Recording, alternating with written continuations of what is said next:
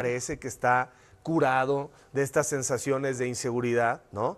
Pero no es eh, un hecho aislado el que de pronto pierda la capacidad como local, se ponga Dilo de otra forma. Si le ponen un gol enfrente, que pueda dudar. Sin embargo, lo dije ahorita en Sport Center, creo que ese es parte del éxito de Anselmi. Creo que este Cruz Azul está curado de espanto. Eso no quiere decir... No, pero tú en Sport Center te adelantaste. No, no, no. Tú ya, tú, tú- tú ya lo